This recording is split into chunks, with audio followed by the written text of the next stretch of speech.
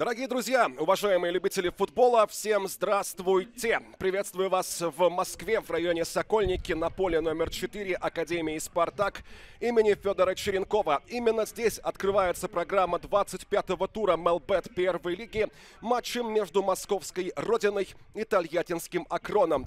Справа номер 77 Константин Савичев.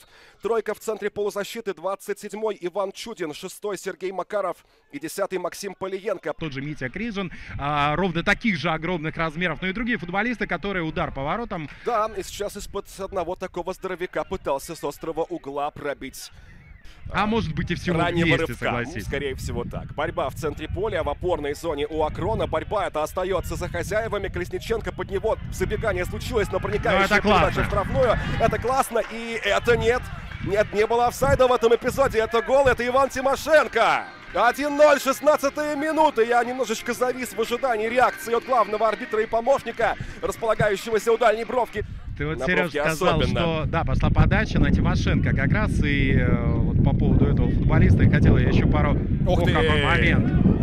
Пару Вообще- слов еще сказать. Ты сказал, что MVP, да, он э, было у него это звание, но я Нет, думаю, он был что... вторым после... Ну э, или почти, Да, почти. MVP. Крижина Понце прострел неплохо. Далеко мяч от себя отпустил Чудин. Далее налево Кольцевой. Салтыков прострел. Рикошет и угловой зарабатывает Акрон.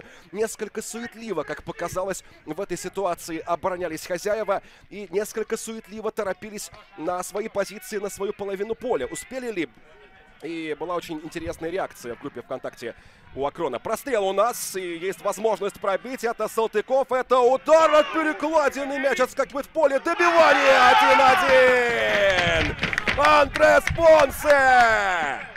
Классная контратака получилась. Все было максимально выверено. Здорово ширину поля использовали. Подопечный Евгения Калешина мог красивым голом отметиться Никита Салтыков, но как же вовремя оказался в зоне подбора внутри чужой штрафной площади Андрес Понсе, и именно он организовал результативное добивание. Именно 1-1. там, а, где и должен был находиться, многопланово в этом плане, да, красиво говорю, Да. А, в этом смысле э, может и э, в атаке сыграть вполне себе полузащите на У вас фланге. момент у ворот Родины удар, это гол 2-1! И снова через край обороны удалось прорваться футболистам из Тольятти. На сей раз через левый край атаки и правый край защиты Родины. Удар с дистанции низом в уголочек. В первой команде Акрон. Посмотрите, кто несется в атаку. Это Митя Крижин, он уже в штрафной площади. Подача от гиганта центрального-то изначально защитника Родины, у которого, кстати, есть и довольно богатый опыт выступления, в том числе и в атаке. 2-1 Шакуро, и за ним несется буквально Тимошенко, выдавливая того от мяча. Нет нарушения правил. Тимошенко правее на Султонова. Прострел это в руки Сергею Волкову. Предательски поляна уже заканчивалась для Мухаммада Султонова, одного из лучших футболистов первой лиги по прошлому сезону. Прекрасно тот смотрелся в составе московского торпеда, которому помог пас у нас. И, кажется, нет офсайда. Килин у ворот. Внимание! Килин удар рядом с ближней к нам штангой. Еще успел пересечь траекторию Килину Митья Крижин, успевший нагнать капитана Воропаев, но он без скорости.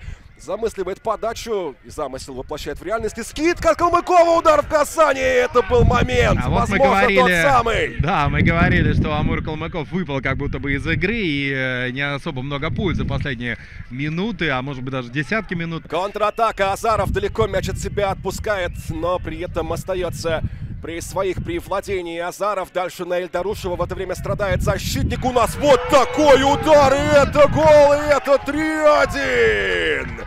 И это Абу Саид Эльдарушев. Смотрим еще раз. Лежит Плиев на газоне и бьет почти беспрепятственно Абу Саид Эльдарушев с висящим на его руке. Уэсли Натой был этот удар сопряжен.